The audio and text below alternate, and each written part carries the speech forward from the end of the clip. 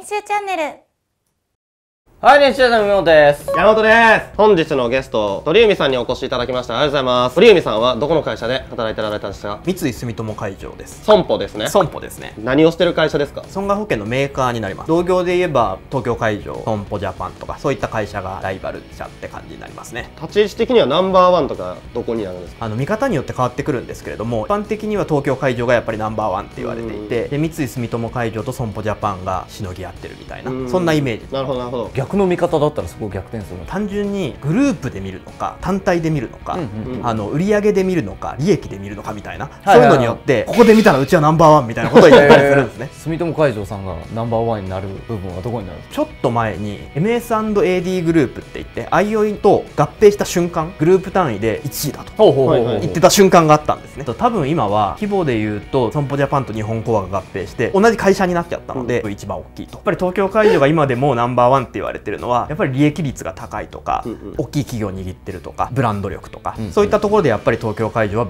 ブランドっていうふうに言われてます、鳥海さんはどんな仕事をされてたんですか？営業の仕事をしていたんですけれどもいわゆる代理店営業リテールって言われるものと企業部って言われるものそれをたまたま両方とも経験しました、代理店営業は分かるんですけど、はい。リテールがあんま分かんないんですけど。同じと思ってもらった方がいいと思います。代理店ってあの要するに自動車販売店さんだったりとか、は地場の保険販売代理店さんだったりとか、あとはまあ生命保険会社の人だったりみたいなそういう集まりをそれぞれ代理店ってリテールに販売してるってことですよね。そうですね。逆に企業部って珍しくないですか？どの会社もおそらく東京名古屋大阪しか企業部っていうのは置いてない、それなりの大企業がないところには企業部っていうところはないんですね。ちっちゃくて札幌とか仙台、福岡とかにちょっとちっちゃめのがあったりする。企業部何するの？上場企業の保険を取りに行くっていう感じですね、はいはい、じゃあその会社ので働いてる人のえ従業員のための損害保険みたいな。のもあるし、は例えば三井不動産がでかい商業施設建てます。そこに火災保険ってかかるはずなんですよね、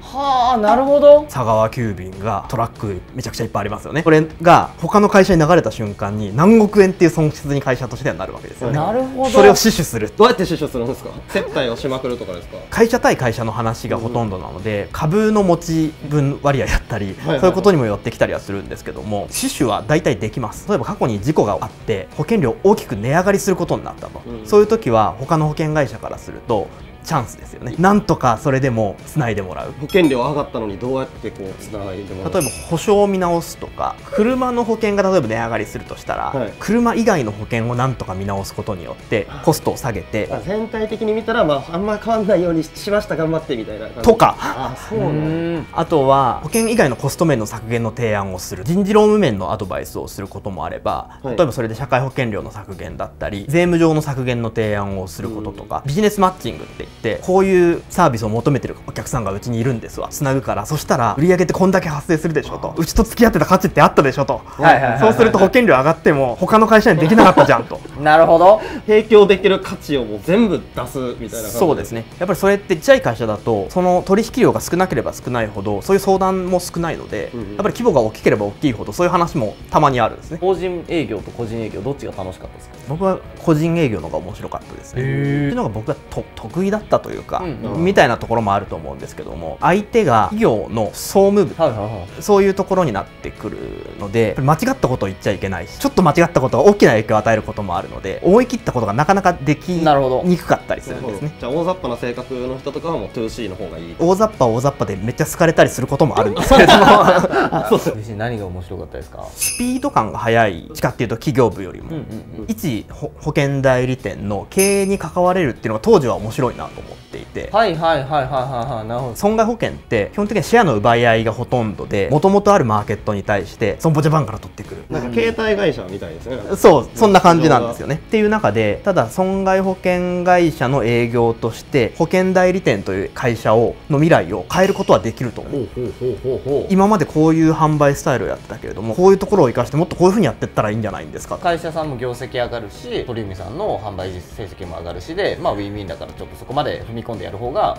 楽しかった。そうですね、うん。ちっちゃい代理店と M&A させると。ここまでやるんですか？やりますね。へ そこがむしろリテール営業の花形的なところだったりします。代理店同士をくっつける。ぐちゃんぐちゃんですか？そうです。どんな話でそうなるんですか？損害保険って例えば年間10万円の保険料の A 社が取り扱いしたのと B 社で取り扱いしたのとでは手数料が違うんですね。あ代理店側が受け取れる利益。あ違うんですこっちだったら2万円入ってくるけどこっちは1万円しか入ってこないはいはいはい。っていうのがあるんですね。ここの会社は同じことやってるはずなのに。損じゃないですか、じゃあこっちのスタッフになっちゃえば倍入ってくるよ。と、はい。はいそうするとこの会社にとっては売り上げ上がるよ。あなたにとっては手取り増えるよねと、はいはいうんあとはこの大黒柱みたいなのプライドを捨てるだけだよと、うんうんうんうんうん。個人でやられてる方が多いそうですね。比較的少なくなってきてはいるんですけども。あ損保のリテールでボカッといくならば例えば損保ジャパンのちっちゃい代理店を三井住友海上の代理店にくっつけると。そしたらこの損保ジャパンのマーケットが全部三井住友に切り替わるわけです。はいそういうこともあるんですね。とか。たら三井住友では手数料もっと高く払いますってと。この数千万のマーケットがボンとこっちに移ると。それ聞いたらめっちゃ面白そうですね。そうですね。その瞬間は結構楽しいですね。うんうんうんイケてる営業マンはバンバンそういうのやってるし。えへイケてない営業マンは全然できないしみたいな新しいものを作ってなんぼというかうーん。今あるものを上限させようとあんまり変わらないので、うん。大きい何かをボンとやんないとなかなか マーケットサイズも変わんないですそもんねうです。その、まあ、営業を頑張って獲得した場合はインセンティブとかもらえるんですか？インセンティブはもらえないんですけれども出世みたいなところには響いてきたりはするんですね。転勤の配属、はい。地方が悪いとかそういうわけではないんですけれども成績が優秀な人の方が都内とか大阪とか都会に配属されることが多いですね、担当者から主任に上がるタイミングとか課長代理に上がるタイミング課長に上がるタイミングそういうタイミングはやっぱり早くなるので長期的に見たら優秀な方が収入は当然多くなるよねっていう感じですね、優秀な人って結構もうその首都圏とかに行きがちじゃないですか、はい。ただ一部であそこ名門支社だよねって言われる謎の地方あったりします、あります。優秀だからそこに飛ばされるケースとかありませんあります。超極端なケースはトヨタですよね。あー。スーパーエリートですよ。なるほど。スーパーエリートになったら豊田市行かないといけないですか、幸い、えー、と名古屋。豊田市にべったりではないんだ。三井住友海上の年収推移みたいなのを教えてもらっていいですか？入社した時は多分350万から400万ぐらい。そこから多分50万ぐらいずつ上がってほうで5年ぐらい経つと担当者から主任っていう役職がつくんですね。100万とかもっと上がって、うん主任主任で700くらいってことですか600700とかそのぐらいですかね、はいはいはい。で僕が辞める時は1年間働いて辞めたんですけどもその時が確か950万とか、あいいですね。おー。でも30歳の時。もう30歳ってことですよね。そうですね。かいな金融って。すごい。いいっすね。いいと思いますよ 周りの友達にマウント取れ取ってました取ってましたね。950とか言わないですよね。1000万だよ。言いますね。言いますよねそんなもん。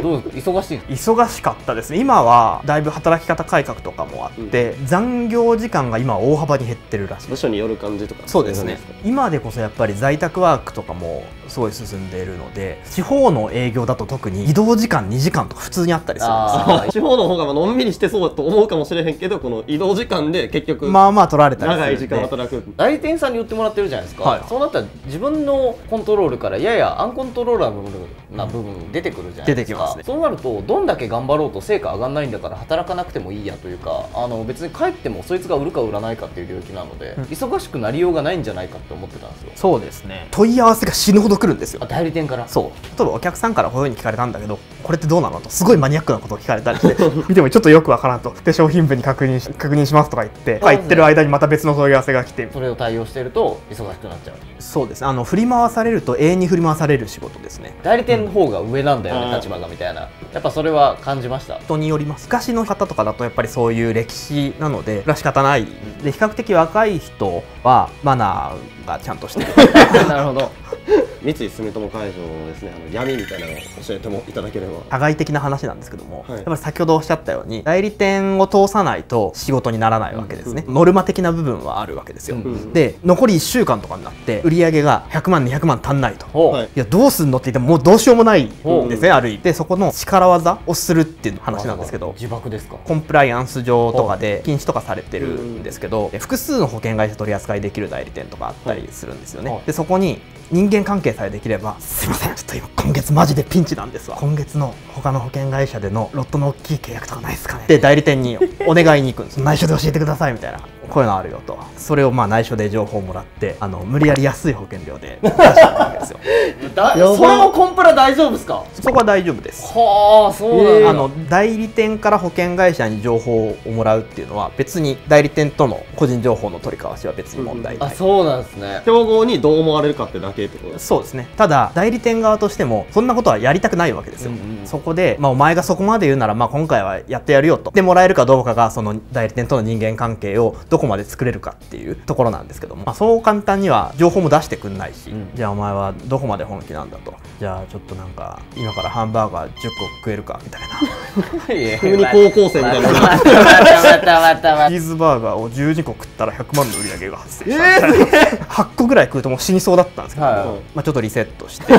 なるほど。裏技っすね。ひどい話で言ったら例えば風俗おごるとかそういうのあったりするんですか？あると思います。おごれとかっていうよりは人間関係の中で必要に応じておごって気持ちよくさせてシェアを取りに行く。っていうのはまあ、ありえますよね。女性社員とかなんかそういうのあったりするんですか？枕は多分ないと思います、あんま聞いたことないですはい、最近の上司の方とかも別にそんなメンタル病んでまで取りに行くことはないというふうに言う人が多いような気がします。どの会社でもそれなりにノルマはやっぱりあるし、うんうん。上下関係がうるさいだとかマナーがどうだとかならないこととかもあると思うんですけどいい会社だなとは思います。トータルじゃあ給料も良くて働きやすくてまあハンバーガー12個食うことはあるけどノルマにそんなねバチバチ追われるわけでもないですしいい会社だったなっていう感じ。です、ちなみに今は何をやってらっしゃるんですか？あ保険会社辞めてあの FP 事務所を経営してます。ほとんどの人ってお金のことって考えてるようで考えてなかったりしてて、なんとなく入ってる生命保険とか損害保険とかなんとなくやってる投資とかそういうのをもっとちゃんと考えてやったら良くなるよ。収入は結構高かったはずなんですよ、だけどお金が貯まってる感じもあんまりしなかったし収入が仮に少なくなっても生活することはできるし自分がやりたいことを冷気をかけるものってお金だったりすることが多いな。っていうのが自分の収入と支出がどうなってるのかっていうことをちゃんと気づいてどういうふうにやっていけば収入が低くっても自分のやりたいことって意外とできるんだ。分かればその人は行動に移すことができるんじゃないかと。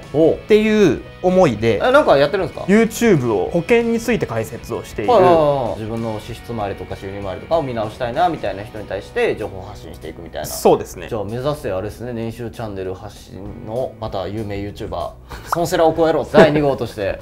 概要欄に貼っておきますのでぜひチェックしてください。本日はありがとうございました。はいありがとうございました。年収チャンネルでは年収ガイドブックを視聴者皆さんにプレゼントしています。フリーランス向けオンラインサロンもやってます出演者募集中。概要欄をご覧ください。